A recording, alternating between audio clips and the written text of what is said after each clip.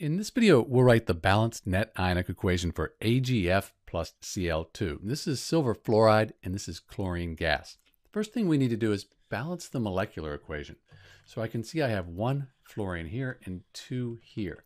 So I think I'll put a two in front of the AgF. Now I have two silvers here and just one here. So I'm going to put a two here, fixes the silvers, two chlorines, two chlorines. This is the balanced molecular equation. Next, we write the states for each substance. So chlorine, that's going to be a gas. Cl2 is a gas. F2, that's a gas. Just something you need to be able to recognize there. For AgF and AgCl, silver compounds are often insoluble. So I want to check this on a solubility table. So I come down here, this is silver right here. We'll look at AgF first. Here's the fluoride ion. So we go up and over, and that S, that means AgF is soluble. It's going to dissolve in water and it's going to dissociate into its ions.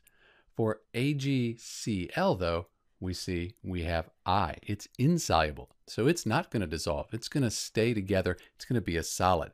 So we have AgF is aqueous. It's dissolved in water. AgCl, that's a solid. Let's go back to our equation. So we said AgF, that's going to be aqueous. It'll dissolve in water. And then AgCl, that'll be a solid.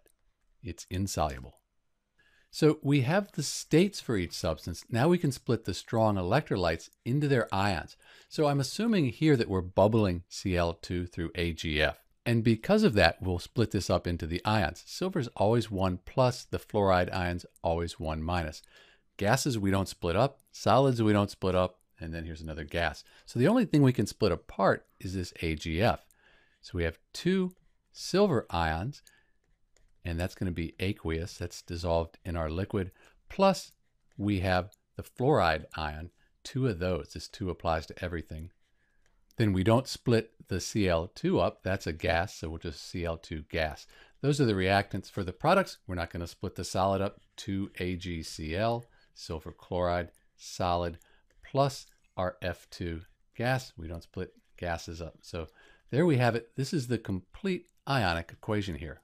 At this point, we can cross out spectator ions. They're on both sides. The thing is, there's nothing on both sides that is the same. Everything is different. So the net ionic equation and the complete ionic equation, they're the same thing. So this is both the net ionic equation and the complete ionic equation for AgF plus Cl2. Note we're assuming that this was an aqueous solution where we are bubbling the chlorine gas through to make the reaction take place. This is Dr. B with the balanced net ionic equation for AgF silver fluoride plus Cl2 chlorine gas. Thanks for watching.